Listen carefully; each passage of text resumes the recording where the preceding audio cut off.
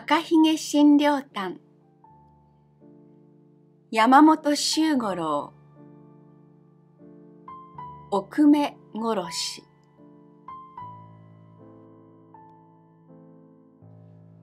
4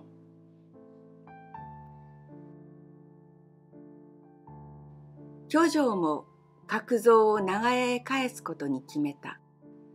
さもないと高田屋は本当に長屋全体のものを凶暴と言って訴えるかもしれない。そんな訴えを町方で取り上げるかどうかは疑わしいが、高田屋で金をまくことも考えられるし、いずれにせよことが面倒になる。それよりも角蔵は豊島郡の親類へ行ってきたことにし、帰り道に崖から落ちていたところを巨城が見つけた。それから養生所へ運んで手当てをしたということにしようと言った。巨城はテキパキと手はずを決め、よく口を合わせてからお種は先に返し、戸板の支度をして角蔵を乗せると、少し遅れて養生所を出かけた。巨城と登る、それに薬老を背負った竹蔵も一緒で、蓮図院の裏を大塚へ抜け、寺と武家の小屋敷の多い町を音羽の方へと向かっていった。途中で角蔵が戸板の覆いの中から忘れ物をしたと言い、巨城がすぐにあんなものは忘れてしまえと言った。登は何のことかわからなかったが、しばらくしてゆうべ持っていた合口だなと気づいた。角蔵はそれっきり何も言わなかった。音は五丁目の裏通りへ来ると、路地へ入るところで角蔵が、その左の角ですと言った。長屋のその角の家は新しく模様替えをしたらしい。裏通りに面して入り口とレンジ窓があり、雨戸も戸袋もまだ新しく、ちょっと見ると居酒屋のような作りであるが、その出入り口の雨戸には、幅五寸ばかりの板が斜め十字に打ち付けてあった。どこから入る？裏に勝手があります。と、角蔵が答えた。そっちから入れておくんなさい。彼らは裏手へ回った。戸板が担ぎ込まれたので、たちまち人が集まってきた。巨城は登るを促して勝手口を開け、角蔵を移そうとした。すると、集まっている長屋の人たちを押しのけて、二人、男が前へ出てきた。一人は三重絡みで、飛びのものといった風に見えるが、他の一人はずっと若く、まだ二十二三であろう。東山柄の素合わせに三尺を低く締め、素足に朝裏を履いていた。色が白く、眉が濃く、痩せ型ですっきりした体つきだが、一種の気分。それはちょうど賢い犬ならすぐに吠えかかるだろうと思われるような、気味の悪い気分が体全体から発しているように思えた。それは角蔵ですね。と、年笠の男の方が言った。怪我をしているようだが、ちょっと見せてもらいますよ。見てどうする？と巨城が聞いた。ゆうべ間違いがありましてね。と、その男は言った。この長屋の家主の旦那を殺そうとした奴があったんで、その下手人を探しているところなんです。お前は何だ？町方のものか。いえ、私は高田屋さんの出入りで、遺蔵てえものです。そういう下手人を探すのは役人の仕事だろう。と巨城が言った。それともその高田屋では、実手でも預かっているのか。遺蔵は黙った。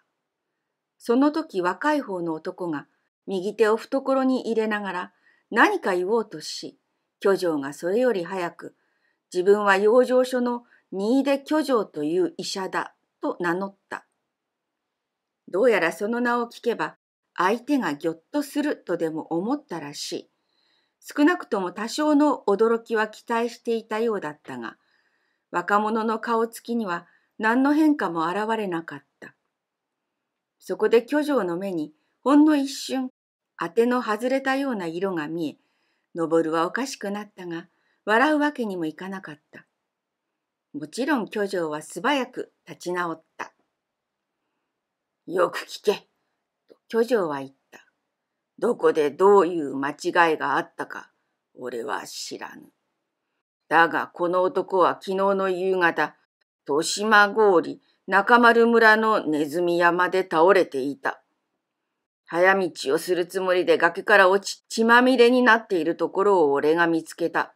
それから養生所まで運んで手当てをしたのだが、その間違いというのはいつ、どこで起こったのだ昨日の暮れむつ、水戸様の脇だ。と若者が言った。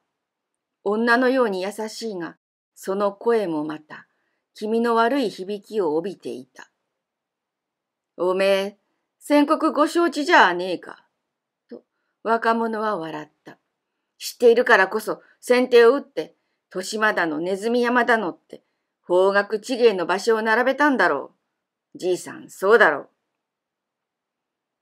う。いいぞ、とか言ったな。巨匠はそっちを見ていった。その高田屋の主人というのは、殺されたのか、それとも怪我で済んだのか。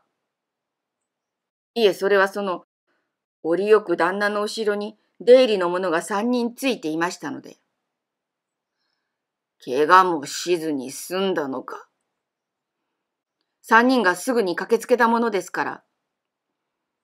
乱暴者の方はどうしたつまりその、刃物を持っていたんで、危ねえもんだから叩き伏せました。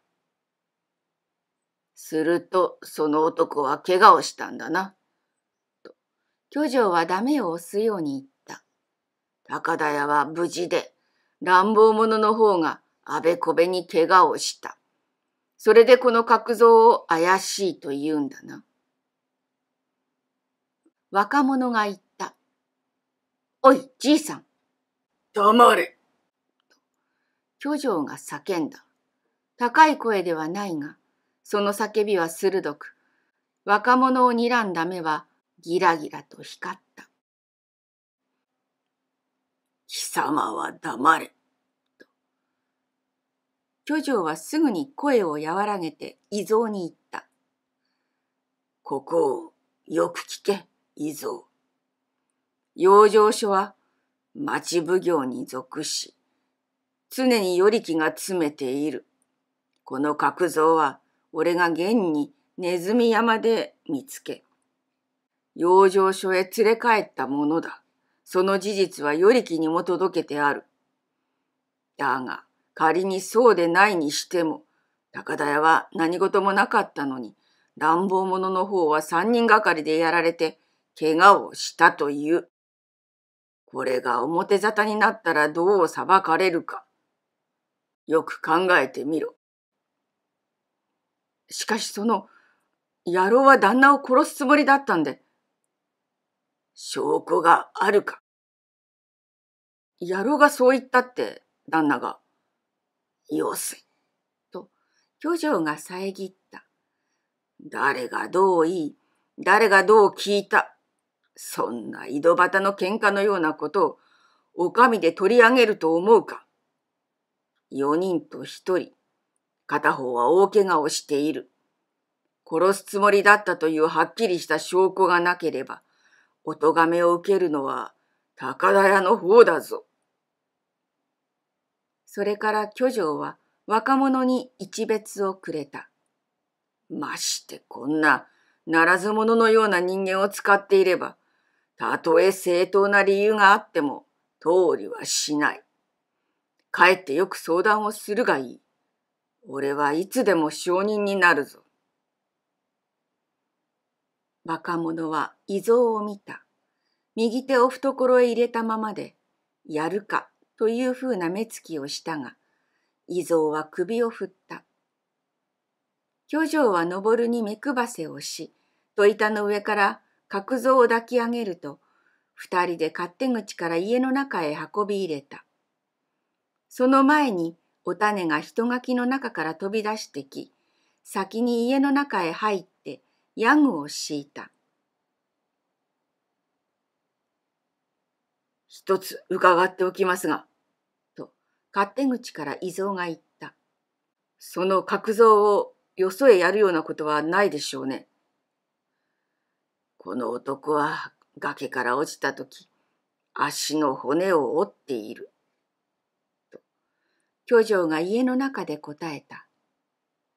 二三十日は動けないから安心しろ。